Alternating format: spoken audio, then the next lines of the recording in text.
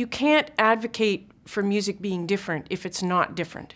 So, so you, they'll they'll say, well, music is different than what happens in the math classroom, and I'm say, really? In the math classroom, you get a textbook, and the teacher tells you to do the following exercises. And over the series of a few weeks, you get a test or an exam, and then you put that away and you go later in the textbook.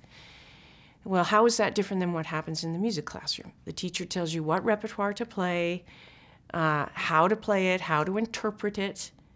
Uh, go practice it, go do your homework, and we're going to have a test, and we call it a performance. And then we put that repertoire away, and away we go, and there goes the cycle. Uh, so just because they're playing, uh, and don't get me started on that word, um, doesn't mean that, that they're using some different parts of their brain, left, right, whatever, uh, that's different in the math classroom.